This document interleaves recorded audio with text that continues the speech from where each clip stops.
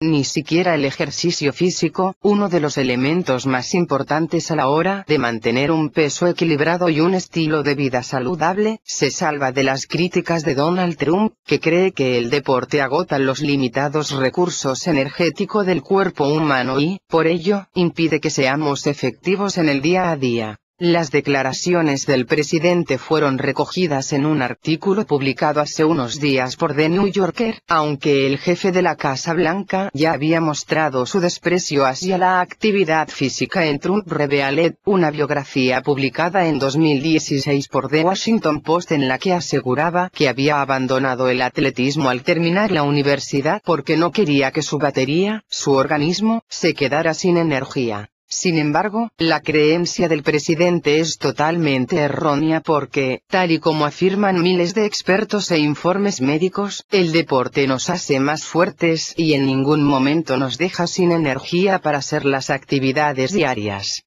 El ejercicio físico consume parte de las reservas de glucosa, glucógeno y grasa de los tejidos, pero este carburante es recargado cuando una persona come, afirmó Michael Jonesco, médico deportivo y especialista en ortopedia del Centro Médico Wexner de la Universidad Estatal de Ohio. Comparar el cuerpo humano con una batería no es correcto, ya que nuestro organismo se parece más a una hoguera que necesita ser alimentada con carbón o madera todo el tiempo para no apagarse, añadió Jonesco. Los expertos recomiendan que los adultos hagan ejercicio físico durante al menos 150 minutos a la semana. Según The Washington Post, cuando hacemos ejercicio, nuestro corazón y nuestros músculos se ven sometidos a un esfuerzo considerable al que deben adaptarse y, al hacerlo, su resistencia y su eficiencia aumentan. Una batería, sin embargo, va perdiendo energía conforme es utilizada, por lo que su funcionamiento no tiene nada que ver con el del cuerpo humano.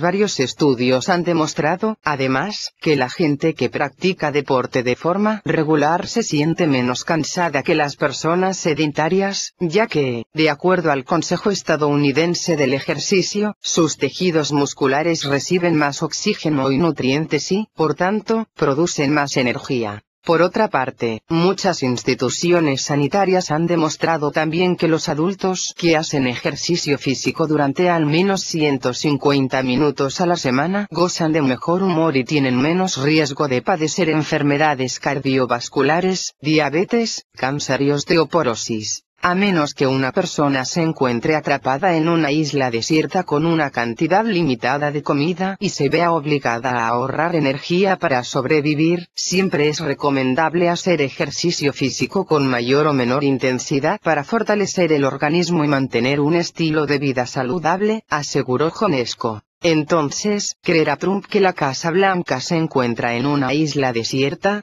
Comparte y no olvides compartir.